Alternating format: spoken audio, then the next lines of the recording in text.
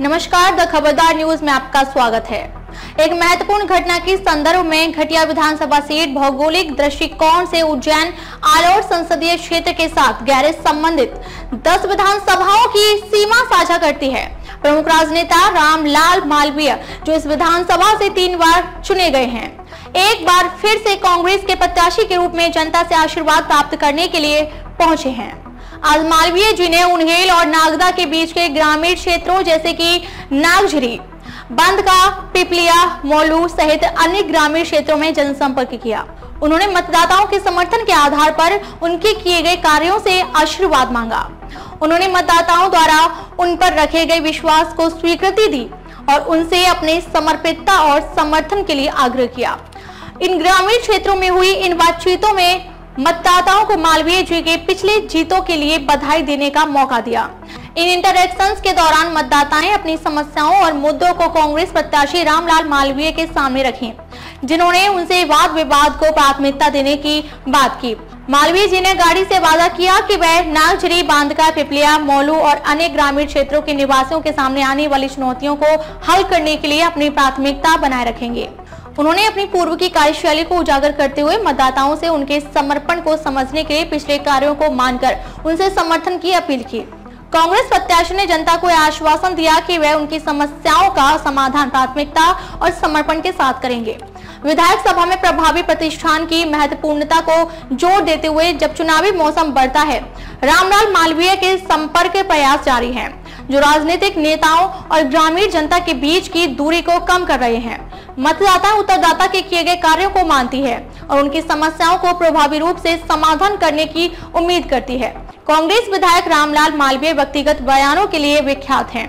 जिन्होंने महाकाल मंदिर के निजी गार्ड को धमकाया था, कहा था कि ताकत में आने के बाद कहा, तेरी नौकरी खा जाऊँगा। रामलाल मालवीय ने अपनी दृढ़ता से कहा कि उन्हें अपने बयानों के माध्यम से व्यक्तिगत दृष्टि रखने का हक है और इस पर कोई विवाद नहीं होना चाहिए।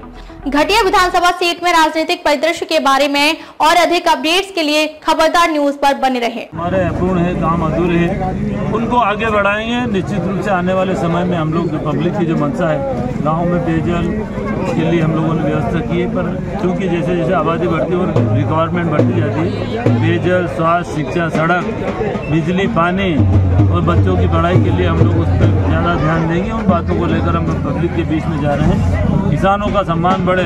उनको किस प्रकार निःशुल्क बिजली मिले, अच्छी बिजली मिले, समय पर खाद मिले, समय पर बीज मिले, किसानों का ऋण माफ़ करने का निर्णय कमलनाथ जी की सरकार बनने पर किया जाएगा। तो हम आने वाले समय में किसानों के साथ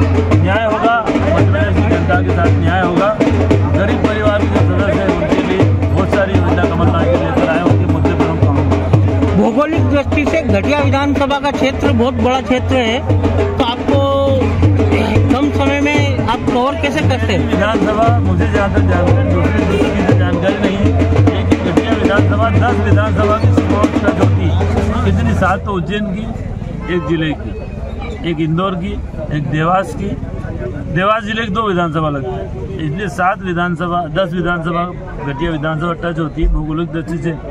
बहुत बड़ा विधानसभा क्षेत्र है। क्षेत्रफल की दृष्टि सबसे बड़ा विधानसभा है। हम लोग पब्लिक के बीच में रोज जाते हैं। हम लोगों से ऐसा नहीं केवल गाड़ी एक जगह जा रहे हैं एक एक मतदाताओं से मिलता हूँ।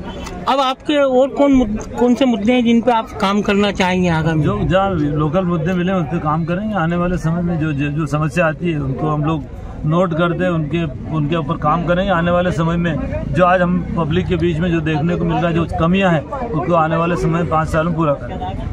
अब तक लिए बस इतना ही फिर मिलते हैं एक ऐसी ही बड़ी खबर के साथ। तब तक नमस्कार और देखते रहिए द खबरदार न्यूज़। अगर आपको वीडियो पसंद आई हो तो वीडियो को लाइक करें शेयर करें और हमारे चैनल को सब्सक्राइब करना ना भूलें।